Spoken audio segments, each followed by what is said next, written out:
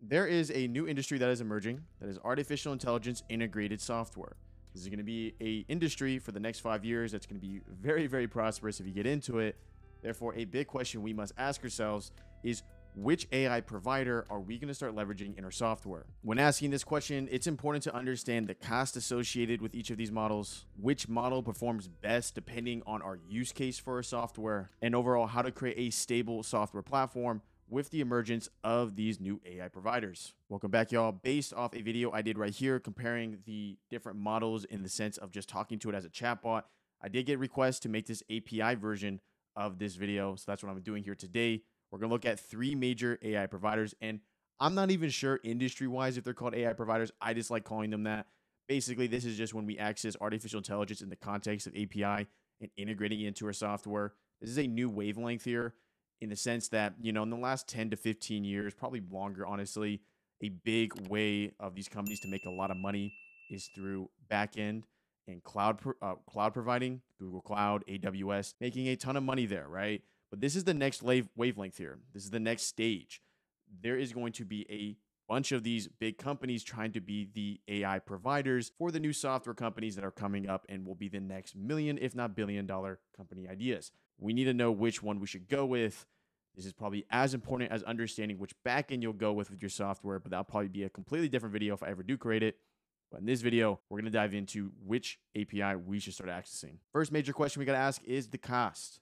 As we know, with thousands of users, the difference between a couple extra pennies per run actually is pretty fundamental when it comes to our revenue, profit, and everything of this nature. Therefore, let's go ahead and jump over to OpenAI. Right now, GPT-4 is probably the most advanced model in the industry. A couple months from now, that might be different. A couple years from now, that might be different. But as of now, of this date, this is the most advanced model. That's going to cost us around one penny per thousand tokens and three pennies per thousand tokens output. What this means in layman terms is think of every thousand tokens as 750 words. Scrolling down here, though, we come to GPT 3.5 Turbo, which is probably going to be the more important model to talk about in today's video, as when comparing the different models when it comes to just how the output looks like and the quality, 3.5 Turbo is going to be the best comparison when looking at Gemini and looking at Anthropic. So coming back over here, understand that 3.5 turbo is 0.0005 per thousand tokens and 0.0015 per thousand tokens. Let's go ahead and check out the other models. This is Google's model called Gemini. We got Gemini Pro and we got Gemini Ultra. As of now, right now, we can only access API wise Gemini Pro. Gemini Pro, think of being as similar to the outputs and the quality of outputs we see from 3.5. As of now, we're looking at 60 queries per minute, which actually isn't that high. And we're looking at a price of free and price output of free just because of the fact that they're training on your data. But when Google AI Studio comes out, these are the prices we're probably going to be caring about more with the price of 0.00025 and then for an image generation 0.0025. To translate that, that's 0.00025 to 0.0005, which is just a 100% increase. So the cost associated with 3.5 compared to Gemini API is 100% more. We're talking about fractions of pennies here, y'all. So 100% more is not a drastic impact when we're looking at scale and which model we should go with. Therefore, because we can't even access the production level API yet, which is probably going to be the pay as you go, when you're developing your software at the current moment in the status quo, you're going to be leaning towards OpenAI.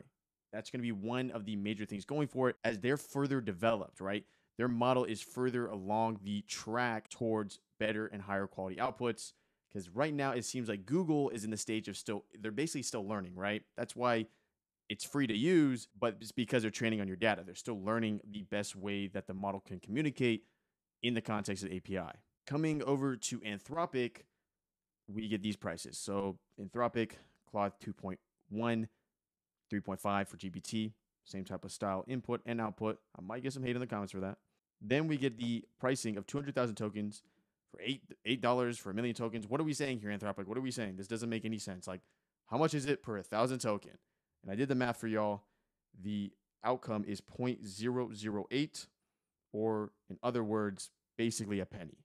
So every thousand tokens, you're paying a penny. The output is similar to 3.5, and we're paying only 0.005 here. So in a way, they're kind of pricing it as if the model was as good as GPT-4 Turbo. From my experience, the model's not there yet. Long term, it may get there. Keep that in mind. Coming back to our whiteboard here, what does that mean for us? That means this. First things first, Gemini is kind of in training right now. So we'll just put a train. This is training stage right now. I feel long term, this is going to be a very powerful API to access for artificial intelligence. But as of now, February 14th, Valentine's Day, or I guess when you see this, it'll be a weekend. It just seems like it's in training mode. So play around with it, have some fun with it. But if you actually want to put a production level branch, software ready to go, paying users, it's just not there yet. It needs more work. Anthropic. This has potential. And I'm going to describe a little instance of why it has potential in the context of production level software. As of now, though, if it's not already obvious, we're going to stick with OpenAI. Why? Because our loyalty lies with the most powerful model up to this point, which is GPT-4 Turbo. And on top of that, look at the diversity when it comes to different types of models we can access for API. This is an absolute fun house when it comes to creating software.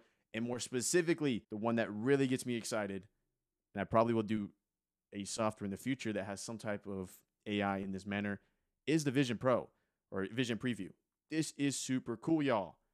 A lot of value there. A lot of softwares can be made using this endpoint. Knowing this, if we come back to tldraw, if we're going to go with OpenAI's API, just because of the fact that they're furthest along, long term, there may be a better comparative understanding of which one to choose. Overall, I see the advancements of every single one of these as a very positive thing for the market because, as you'll notice, all the prices are getting slashed.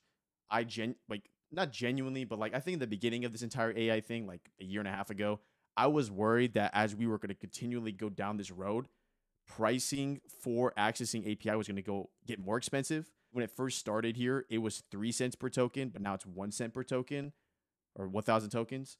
I was worried it was going to be like six. You know, I thought it was going to get more expensive. But lucky for us, and lucky for capitalism, competition has lowered the prices. So you don't have to worry about cost so much as you do have to worry about the value of the output of what you're providing your end user. Therefore, go with OpenAI. Now let me go ahead and explain what I was referring to a little earlier when I said Anthropic. Why would you use Anthropic in a production level branch? Let's say we have a some logic here. We got a pipeline. And in this pipeline, we use two prompts. One, two. In this prompts, we are using OpenAI. So what does say OpenAI is at O. Here's the thing. Because OpenAI is kind of standing out as the the one that a lot of production level software is using, it's getting a lot of users or developers using it. It does have a lot of incidents in the sense that the API does go down or just becomes worse. When the API gets worse and you try to call upon it and its endpoints, you could lead to glitches, not glitches, but errors within your software because it can't do that generation or can't do the output because the endpoint is just not working. So, how do we circumnavigate this at scale? We are going to use Anthropic as an insurance. So, you have two choices here, or three choices, or combination of choices.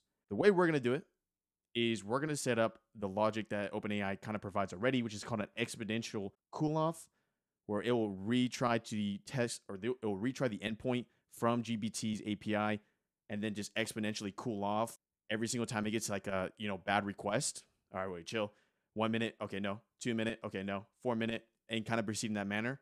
Alternatively, though, if you want to still convert on that user and you're able to prompt both these prompts perfectly, or maybe at some point in the exponential cool off, we're like, hold up, we just need to switch the model entirely. Maybe if it gets to like a cool off of an hour, we switch to a separate model, this is where Anthropic could come into play.